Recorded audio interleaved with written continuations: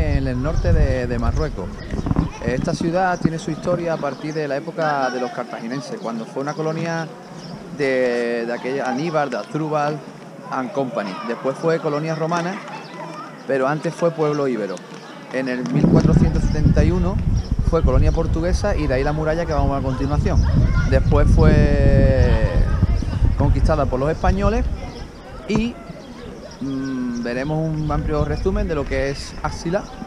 Así que a la Wasahala, eh, Phil Magret, Shukran, Walaleka.